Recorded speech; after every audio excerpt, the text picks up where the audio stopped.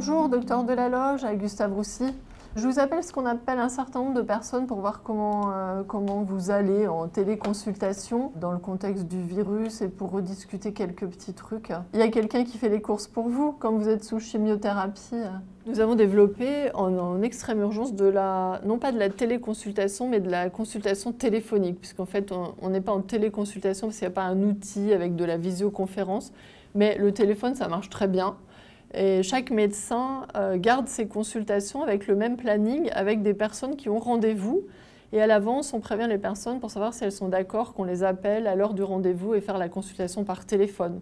Donc comme ce sont des personnes qu'on connaît bien, euh, faire une ou deux consultations comme ça ne pose pas de problème. Et donc on va voir comment ça va, euh, comment les choses se passent à domicile, discuter du traitement, des effets secondaires, des besoins, donner des conseils évidemment aussi concernant le coronavirus, discuter les résultats des examens qui ont pu être faits. Vous êtes à moins de six mois de la fin de la chimiothérapie.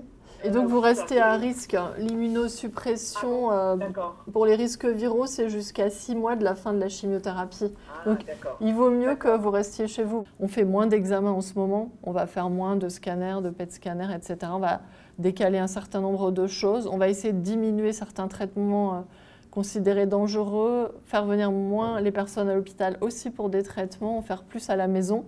Il s'agit de, protéger les patients euh, transitoirement euh, des risques de contamination. C'est vraiment très important, parce que toutes les personnes qui ont des traitements un peu immunosuppresseurs sont plus à risque de faire une forme grave de, de cette atteinte virale. Et donc, votre échographie, tous les trois mois, vous avez euh, l'ordonnance, là? Cardio, oui. Ouais.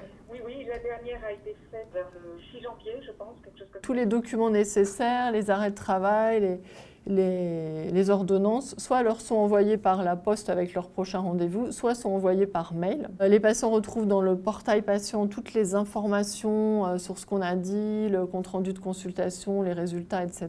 Je trouve que c'est une médecine euh, assez pratique.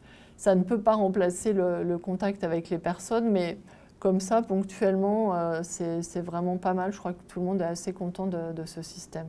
À bientôt alors, bonne, bonne soirée. Au revoir. Bonne soirée, merci. Au revoir.